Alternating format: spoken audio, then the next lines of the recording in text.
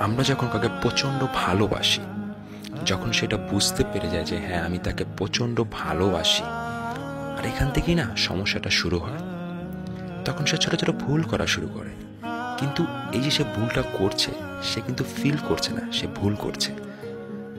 কারণ আমরা যখন কারও কাছে থেকে প্রিয় জিনিসটা পেয়ে যাই, তখন কিন্তু আমরা কদর করতে পারি না। So don't love anyone blindly.